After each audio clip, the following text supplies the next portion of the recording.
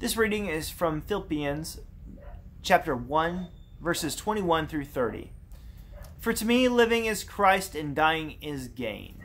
If I am to live in the flesh, that means fruitful labor for me, and I do not know which I prefer. I am hard pressed between the two. My desire is to depart and be with Christ, for that is far better, but to remain in the flesh is more necessary for you. Since I am convinced of this, I know that I will remain and continue with all of you for your progress and joy in faith, so that I may share abundantly in your boasting in Christ Jesus when I come to you again.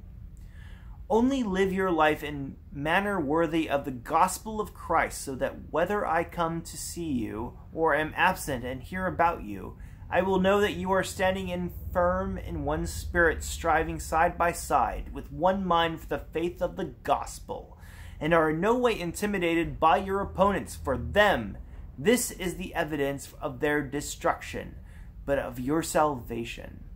And this is God's doing, for he has graciously granted you the privilege not only of believing in Christ, but of suffering for him as well, since you are having the same struggle that you saw I had, and know here that I still have.